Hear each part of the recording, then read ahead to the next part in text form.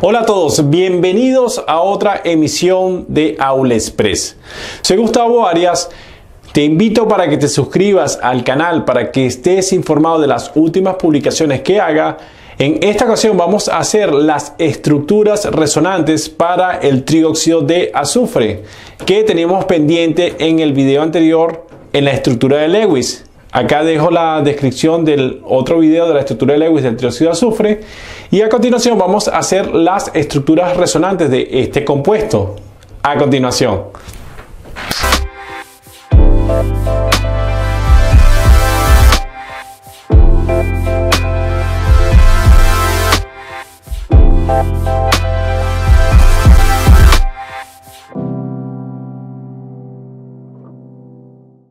Vimos anteriormente en la estructura de Lewis para el trióxido de azufre, vemos que la primera estructura es válida por razones experimentales, donde el azufre quedaría con una carga formal más 2 y teniendo 8 electrones a su alrededor, cumpliendo el octeto, con dos enlaces del tipo dativo donde cada estos oxígenos quedarían con unas cargas de menos 1.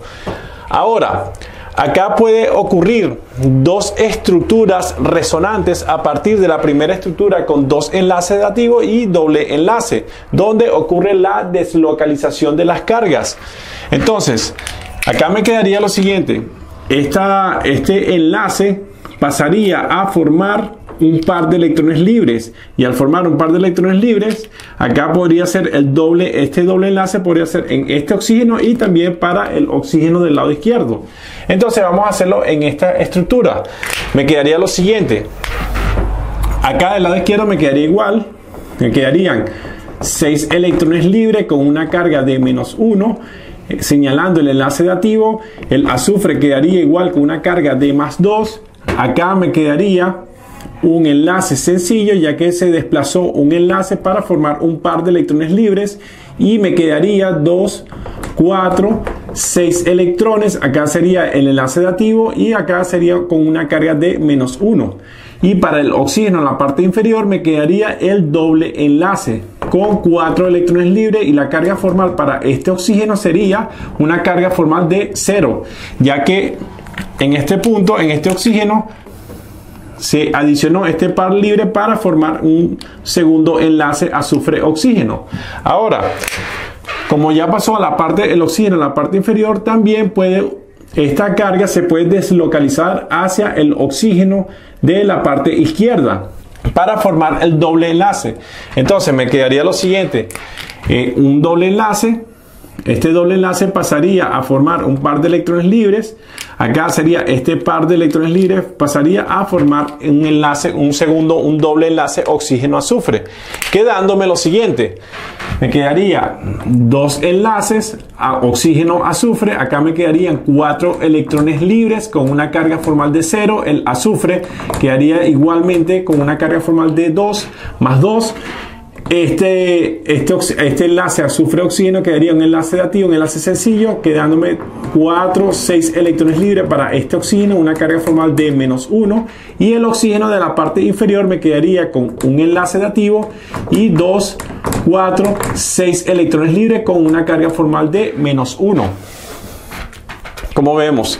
Por lo tanto, vemos acá que tengo tres estructuras resonantes cuando el azufre tiene una carga formal más 2, pero vimos que el azufre puede expandir su octeto.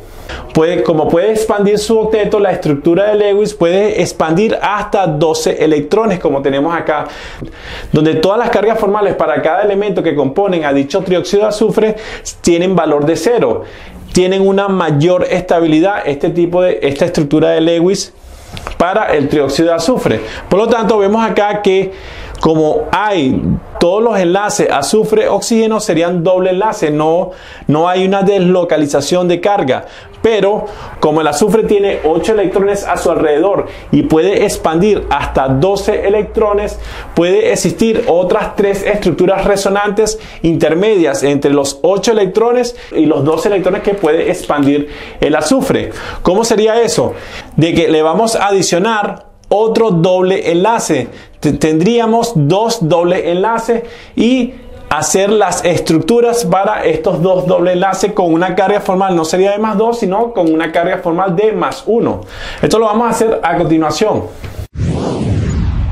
Ok, como vimos de que el azufre puede tener desde 8 electrones a su alrededor con esta estructura de Lewis y una carga formal más 2 y, y puede expandirse hasta 12 electrones como vemos acá y que todos los elementos quedarían con una carga formal de 0, tenemos otras tres estructuras resonantes que, se, que estarían entre 8 electrones y 12 electrones que tiene el azufre a su alrededor.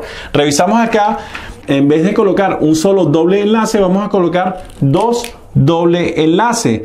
Donde me quedaría que el azufre, en vez de tener dos enlaces dativos como tenía acá anteriormente, va a tener un solo enlace dativo y puede ocurrir acá la deslocalización de las cargas. Ustedes pueden corroborar como tarea la carga formal de este azufre como átomo central con una carga formal de más 1. Entonces, acá en esta estructura puede ocurrir, puede tener dos estructuras resonantes donde ocurre la deslocalización de las cargas. Vemos acá que este oxígeno del lado izquierdo con enlace dativo puede convertirse en doble enlace.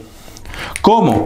Le tomamos un par de electrones libres para formar un doble enlace oxígeno-azufre, mientras que este doble enlace me quedaría voy a tomar un enlace y me formaría un par de electrones libres, donde el enlace dativo me quedaría en la parte inferior y acá me quedarían los dos doble enlaces. Entonces, escribo acá, me quedaría, me quedaría lo siguiente, tengo doble enlace, tengo, ya me quedarían cuatro electrones porque se tomó un par de electrones libres de los seis electrones, carga formal cero, el azufre queda con una carga formal de más 1 como átomo central, acá me quedaría un enlace, ya sería un enlace dativo, y me quedaría 2, 4, 6, me quedarían 6 electrones libres con una carga formal de menos 1, acá seguiría el mismo doble enlace, 4 electrones libres, y carga formal de 0. También puedo deslocalizar esta carga en vez de estar el enlace dativo en la parte inferior del azufre, podemos colocarla del lado derecho. Quedándome lo siguiente, acá se le adiciona este, un par de electrones libres, se le adiciona este enlace y acá este, este enlace pasaría a par de electrón libre. Me quedaría lo siguiente, tengo el doble enlace, esto quedaría con cuatro electrones libres, quedaría con una carga formal de cero. Acá abajo me quedaría doble enlace igualmente, cuatro electrones con una carga formal de cero y acá me quedaría el enlace dativo azufre-oxígeno 2, 4, 6 electrones libres con una carga formal de menos 1 y el azufre con carga formal de más 1 Ahora, ¿qué podemos concluir para las estructuras resonantes del trióxido de azufre? El trióxido de azufre tendría 7 estructuras resonantes. A partir de la estructura de Lewis, cuando el azufre tiene 8 electrones a su alrededor, dos enlaces de tipo dativo y doble enlace.